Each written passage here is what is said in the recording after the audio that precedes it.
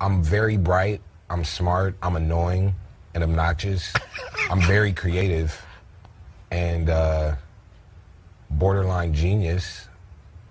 And I think other people see that too, or are starting to see the uh, the good points. People just see me as very annoying and obnoxious, but they're Right. starting to be like, he's not actually stupid. Yeah. And, and a And, lot, uh, and a lot, very talented. a lot of humility, I see. Yeah, and like, you know, I'm curious enough to like if I'm like to explore whether it's it's music or uh-huh. clothes or whatever. You know, I'm not I'm not afraid to ask questions either.